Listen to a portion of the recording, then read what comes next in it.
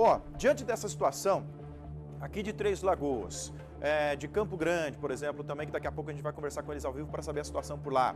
Paranaíba, essa correria danada das pessoas por, pra, pela busca de combustível, nós também conversamos com Edson Lazarotto, diretor do Sindipetro, aqui do Mato Grosso do Sul, que falou sobre a situação do Estado em relação ao abastecimento de combustíveis nos postos da, do Estado. Vamos ver.